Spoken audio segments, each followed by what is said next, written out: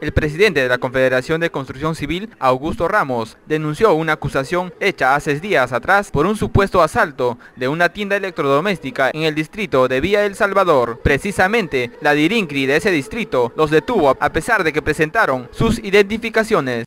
Nos hemos identificado con nuestros respectivos DNI, nos hemos identificado con las respectivas credenciales sindicales, la Dirincri de Villa El Salvador, igual nos llevó a sus, este, a sus instalaciones. Ellos denuncian haber sido agredidos moralmente por la denuncia y además por la publicación escrita y televisiva por los medios de comunicación. ¿No? Y empiezan a, empiezan a hacer denuncias, ¿no? La policía nos comienza a sacar de una oficina a otra oficina, de una oficina a otra oficina y nos comienzan a fotografiar.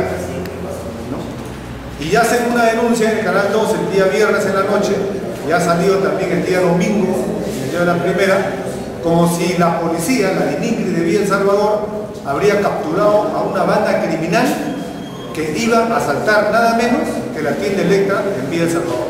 Afirman que fueron invitados a Chincha para participar de una reunión con el sindicato de ese lugar después de presentar la documentación respectiva, como por ejemplo el de reconocimiento por el Ministerio de Trabajo como dirigente, fueron liberados, pero el daño ya estaba hecho, el cual piden una rectificación por el daño causado.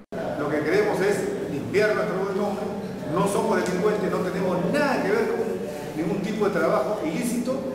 Y le pedimos al Canal 2, al Canal 11, al diario La Primera, le hemos pedido con carta notarial que se rectifique si cometieron un error, se apresuraron por una situación de sacar una noticia así mediática, se han equivocado, que se rectifique. Los dirigentes solo piden una oportunidad para esclarecer el caso y limpiar su buen nombre.